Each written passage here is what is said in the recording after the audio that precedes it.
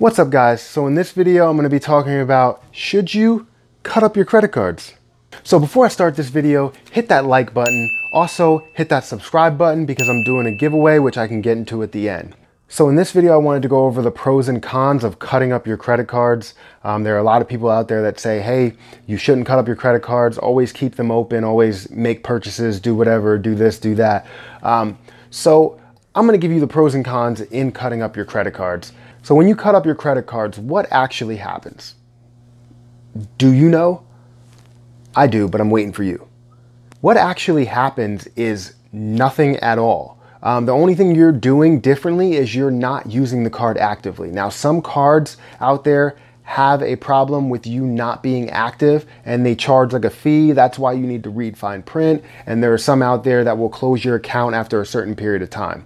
But for me, it really benefits me. And I'll tell you why uh, cutting up your credit cards can help you, but also be a downfall in certain situations. So what I do is I do a lot of credit card churning. If you haven't seen my credit card churning video, I can post that link down below. Credit card churning involves me getting a lot of credit cards for their bonuses. Um, so I'm constantly applying to credit cards, opening up new accounts and, you know, churning bonuses basically.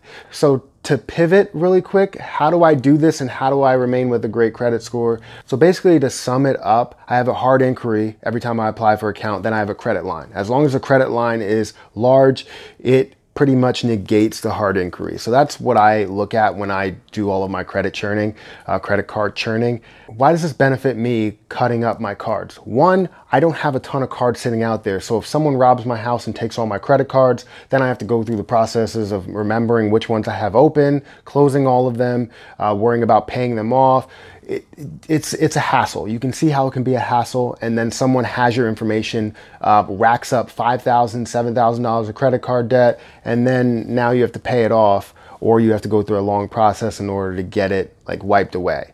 So that is a a con to having your credit cards available to anybody that you don't use. So what I look at when I cut up my credit cards is um, how long am I going to be using it for? Am I going to be using it for the three months to get the bonus? And then what am I going to be using it for after that? So a lot of credit cards, I have things that I can use it for. If they offer 3% or 2% back on certain areas, then I'll keep the card. I won't cut it up.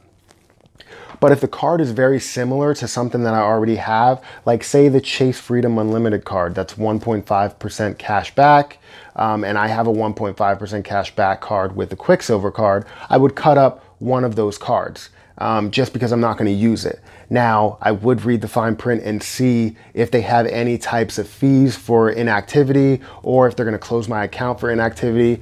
Most of the time, what they're going to do is close your account after your card is expired. So once your card hits its expiration date, you're no longer going to need to worry about that card unless it has a balance on it.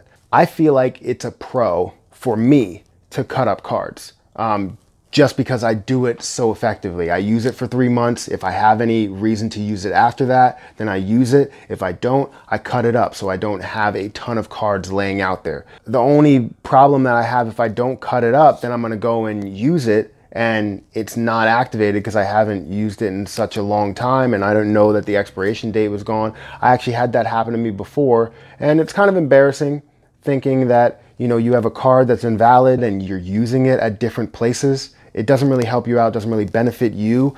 Um, but if you can cut that up and use the cards that you know that you're going to have um, and that are going to work, then you know do it because it's just going to benefit you in the long run in so many areas. So my recommendation is cut up your cards um, if you're not using them because then nobody can get your information. Um, you don't have the mistake of using it and getting embarrassed. Um, and you're still building your credit score without using tons of different cards because then you forget about paying off a certain card because you haven't used it in so long. So people say, oh, just store it away and put it in a safe somewhere. Um, people can steal that safe. So I recommend cutting up your cards. That's my opinion. But there are other people that say don't cut up your cards. What are the benefits to not cutting up your cards? So one benefit would be that you're able to use it um, even after the fact that it's expired because you're getting a new card in the mail for the fact that you have it active. So if you keep using it, you use it once every month and then pay it off right away, um, which is a hassle to have to do.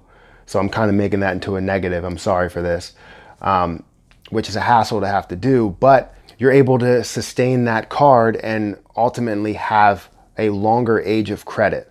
Um, for me, my age of credit hovers somewhere around three to five, usually, because of the fact that I let it live its life and then um, it's gone. I don't get anything in the mail telling me that I'm getting a new card, anything like that. Um, all of my store cards um, that I don't use anymore, those live its life and they usually live to about three to five years whenever or whenever they decide to cancel it or close it due to inactivity.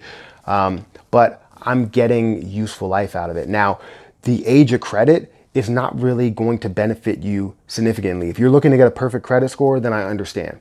But if you're not looking to get a perfect credit score, if you're looking to just gain the most money out of credit cards, then you do it my way. Just cut up your credit cards. Don't worry about it. Don't have to worry about any bills at all. I was going to cut up a card. I was going to cut up a card on camera, but I don't have any cards to cut right now because I cut up all my cards that I don't use. So maybe I'll cut one up another time. But I think you should cut up your cards if you're not using them just to remain safe um, because right now it's all about being safe on the internet. Again, hit that like button if you like this video. I know this wasn't a full in-depth video that you probably expected, but you should cut up your cards. So go ahead and do that right now. I'll wait.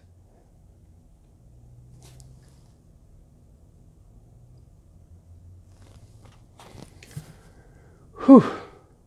Also, comment down below, let me know what you thought of this video and any other video concept you want to talk about. Um, if you do cut up your cards, do you see a benefit? If you don't cut up your cards, um, do you see a benefit? You know, let's do a debate. Let's have a debate down in the comment section. So um, shoot me a comment down below. Also consider subscribing because I'm doing a giveaway. Every milestone that I hit, I'm gonna be doing a giveaway.